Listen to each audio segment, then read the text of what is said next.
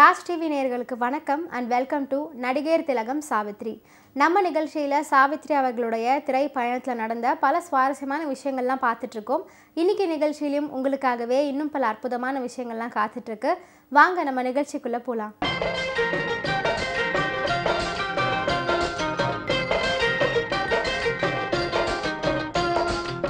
மகாநடிகை சாவித்ரி அவர்களுடைய வெற்றி திரைப்படங்களின் வரிசையில் ஆயிரத்தி தொள்ளாயிரத்தி அறுபத்தி நான்காம் ஆண்டு வெளியான திரைப்படம் தான் கை கொடுத்த தெய்வம் அப்படிங்கிற திரைப்படம்.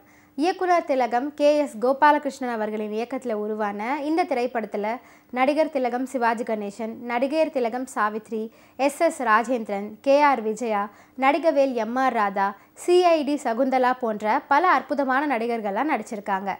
திரைப்படத்திற்கு இசையமைத்தவர் மெல்லிசை மன்னர்களான விஸ்வநாதன் ராமமூர்த்தி ஆகியோர்.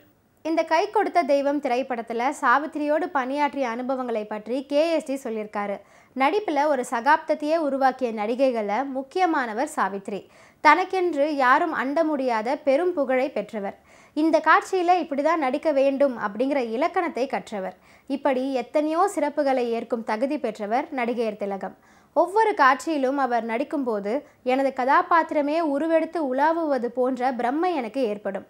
கை கொடுத்த தெய்வம் கதையை சாவித்திரியிடம் நான் சொன்னதும் கள்ளம் கபடமற்ற குழந்தை உள்ளம் படைத்த கோகிலா பாத்திரம் தான் அவருக்கு மிக மிக பிடிச்சிருச்சு. சாவித்ரி படப்பிடிப்புக்கு வந்த முதல் நாள் என்னிடம் வந்து கேஎஸ்டி சார் குழந்தைத்தனமான இந்த கேரக்டரை நான் எப்படி நடிக்கணும் அப்படின்னு ஒரு கோடு போட்டு காட்டிடுங்க.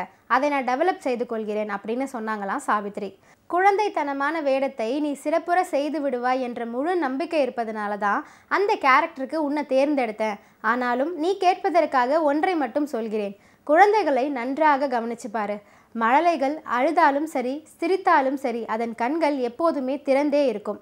எனவே நீ அழுதாலும் சிரித்தாலும் ஆத்திரப்பட்டாலும் அமைதியாக இருந்தாலும் கண்களை திறந்தவாறே வச்சிருந்தா கோகிலா கேரக்டர் முழு வெற்றி பெற்றுவிடும் அப்படின்னு கேஎஸ்டி சொல்லியிருக்காரு.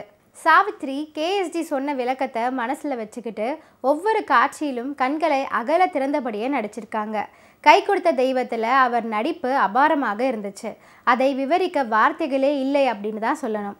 ஒரு கதாசிரியனின் பாத்திர படைப்பு கலைஞர்களின் நடிப்பாற்றலை கொண்டு கணக்கிடப்படும் போது நாற்பது முதல் அறுபது சதவீதம் தான் தேரும் அப்படின்னு சொல்லுவாங்க. ஆனால் கை கொடுத்த தெய்வத்தில் சாவித்ரி நூற்றம்பது சதவீதம் உயர்த்தி விட்டாங்க. அவருக்கு ஈடு அவரே அப்படின்னு கேஎஸ்ஜி அவர்கள் சாவித்ரியை புகழ்ந்து பேசியிருக்காரு. கை கொடுத்த தெய்வம் திரைப்படத்தில் கோகிலாவாக வரும் சாவித்ரி நடிப்பில் போட்டி போட்டு நடிச்சிருப்பாங்க. பேதைத்தனம் மற்றும் துடுக்குத்தனத்தையும் ஒரே சமயத்தில் சாவித்ரியால் மட்டுமே வெளிப்படுத்த முடியும். ரகுவை முதன் முதல கண்டதும் தன்னை பற்றிய விவரங்களை எல்லாம் வெள்ளை உள்ளத்துடன் வெளியிட்ட காட்சி ஒன்றே சாவித்திரியின் நடிப்பாற்றலுக்கு போதுமானது அப்படின்னே சொல்லலாம். காட்சிக்கு காட்சி முகபாவத்தை மாற்றி மாற்றி வெளிப்படுத்துவது பாராட்டுக்களை சாவித்ரிக்கு பெற்றுத்தந்தது. கே எஸ் கோபாலகிருஷ்ணனின் இயக்கத்தில் சாவித்ரி அவர்கள் நடித்தவை கற்பகம் கை கொடுத்த தெய்வம் ஆயிரம் ரூபாய் ஆகிய படங்கள். குடும்ப சித்திரங்களில் கேஎஸ்ஜி கொடிக்கட்டி பறந்தது போல வேற யாருமே வெற்றி அடையலை. மேற்கூறிய மூன்று படங்களுமே மாறுபட்ட கேரக்டர்களை சாவித்திரிக்கு கொடுத்துச்சு. அவரது நடிப்பாற்றலை எவரெஸ்ட் சிகரத்துக்கு கொண்டு சென்றுச்சு.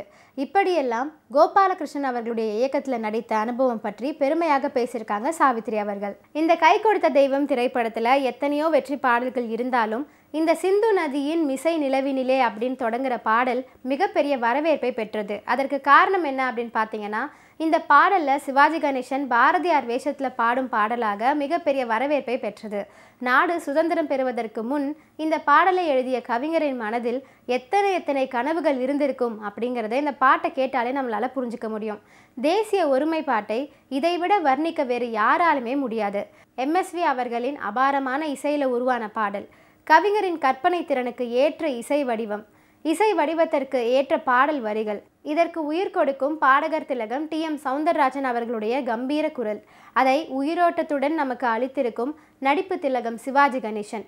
எத்தனை முறையானாலும் கேட்டுக்கொண்டே பார்த்து கொண்டே இருக்கலாம். சிந்து நதியின் மிசை நிலவினிலே அப்படிங்கிற பாடலுக்கு பின்னணியில் ஒரு சுவாரஸ்யமான சம்பவத்தை சாவித்ரி அவர்கள் பதிவு பண்ணியிருக்காங்க.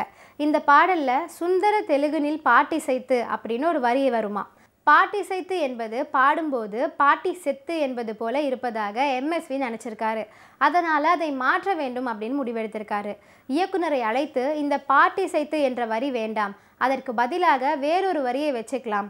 பாடலை எழுதிய கவிஞரை அழைத்து வாருங்கள் அப்படின்னு சொல்லியிருக்காரு. அதை கேட்ட இயக்குனருக்கு அதிர்ச்சி.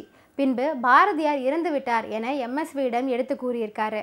அதை கேட்டு என்ன இறந்து விட்டாரா என ஆச்சரியத்துடன் கேட்டாராம் எம்எஸ்வி இசை மட்டும்தான் எம்எஸ்விக்கு உலகம்.